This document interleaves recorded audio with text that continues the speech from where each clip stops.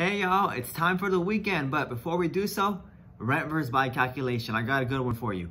$2,000 rent versus $500,000 home. We're gonna go conventional, 5% down, 3% interest rate, 4% appreciation rate. So right off the bat in five years, you're gonna save about $74,432 deciding to own rather than rent.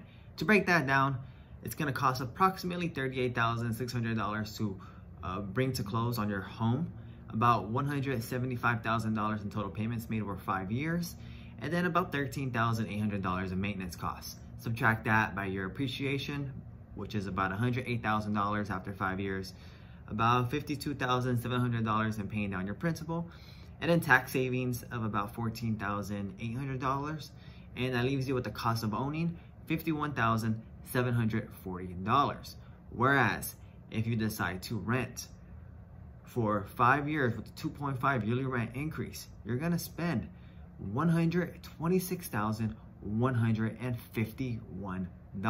Now, if you subtract that cost of owning by the cost of renting, that's gonna give you your buy gain of $74,411. Now, what is the tax adjusted payment? When you own your own home, you're able to write off the interest that you pay on your loan each year.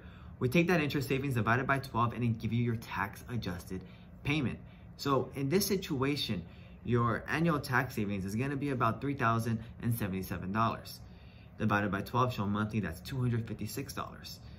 So your tax adjusted payment is gonna be $2,663. Now I know this is more expensive than your rent at $2,000 monthly, but this is a fixed cost. Whereas that rent is going to increase year over year at 2.5%. And by year 30, your rent, that $2,000 rent is going to be $4,195.14. Most importantly, you aren't earning equity. What is equity? Each month that you make your home payment, you're gaining equity in your home. So you're gonna put $25,000 down, appreciation of about 108,000 $326 after five years, and then paying down your principal $52,694, that's gonna give you a total equity of $186,021.26.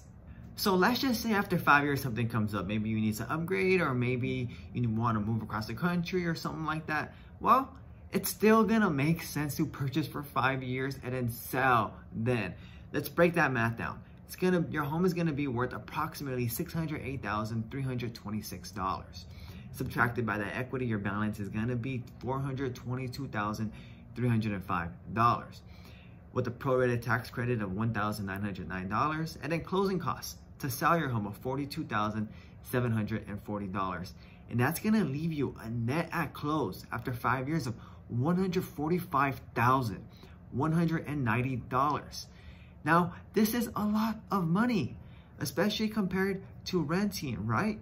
Renting will cost you $126,151 after five years. You have nothing to show for it. With this $141, uh, $145,190, that's enough for a down payment for a bigger home to put into a retirement account or whatever scenario you would need it for. What's up, y'all? Hope you enjoyed this rent versus buy calculations. If you're interested in seeing what your rent versus buy calculation is, just let me know. You can go to our website, theluevanosgroup.com slash rent versus buy, and you can find it there, or the link in the bio, you can find that link.